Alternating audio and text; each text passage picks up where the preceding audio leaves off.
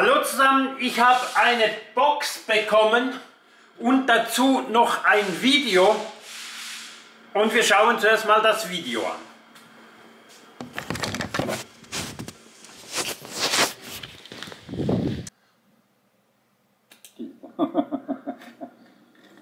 Also man sieht, die Box von meinem Kumpel läuft auf meinem Stromnetz. Und jetzt stecken wir um mit einem identischen Kabel an meine Box.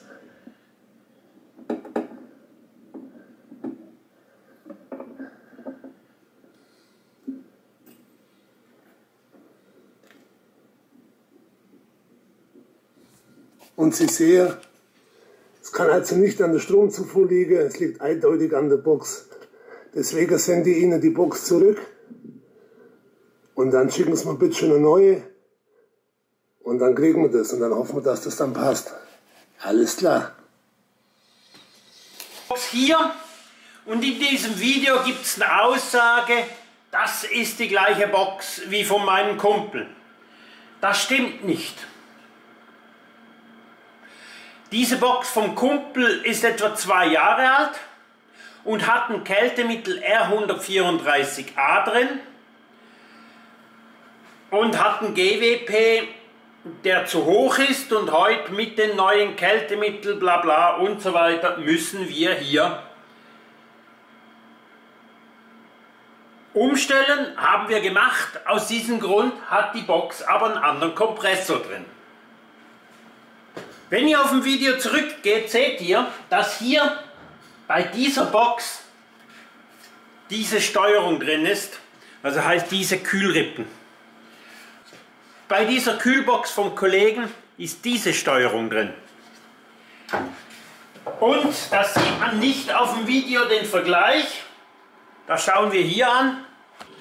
Diese Box hier hat R290 drin 26 Gramm und BD 80 CL Kompressor. Und die andere Box vom Kollegen, die hat den BD 35, der ist halb so stark. Und wenn ich hier auf Emergency stelle, läuft die Box durch und hier habe ich eine Temperatur von minus 30 Grad und hier nur minus 28. Ich habe vorher aufgemacht, ja, äh, ist auch okay. Und diese Box vom Kollegen bringt diese Temperaturen nicht. Weil wir jetzt hier einen stärkeren Kompressor haben, haben wir den höheren Stromaufnahme und durch das den höheren Spannungsabfall. Im Video habe ich hingezoomt, das könnt ihr euch angucken. Da blinkt diese Lampe Error einmal. Wenn man die Betriebsanleitung liest, steht da Unterspannung. Das heißt, wir haben zu wenig Stromspannung von der Batterie. Das heißt, wir haben eine schlechte Stromversorgung und das könnte man ja messen, ob die Stromversorgung gut ist oder schlecht ist. Weil die Boxen haben Unterspannungsschutz und die schalten ab.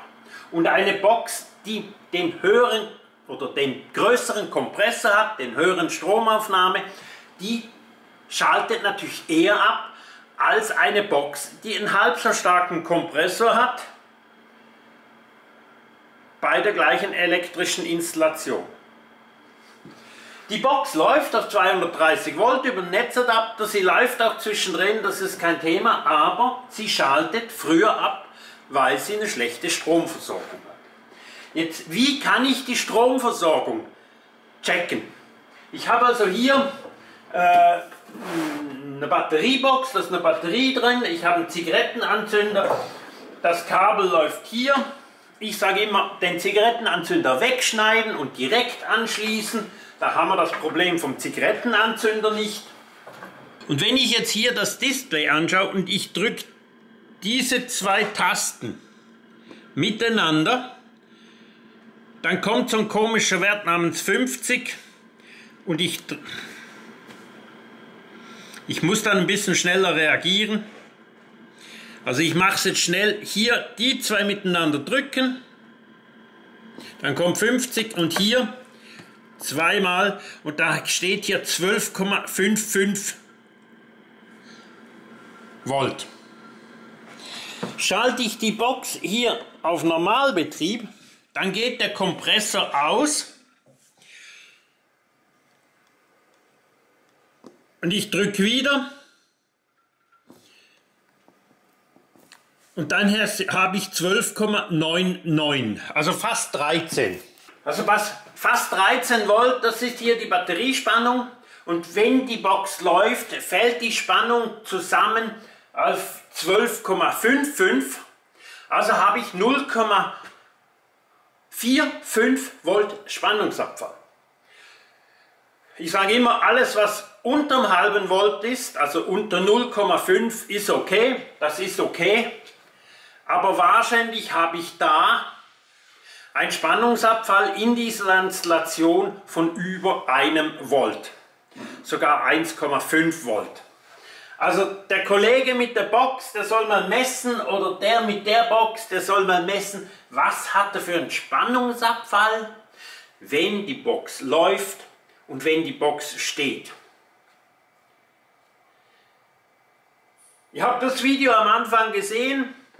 Schreibt mir unten in die Kommentare, was ich jetzt machen soll. Ich stehe ein bisschen ratlos da. Die Box läuft, aber die Elektroinstallation ist, habe ich jetzt vergessen. Aber, und diese Box hat den doppelt so starken Kompressor drin. Welche Box macht schon minus 29 Grad?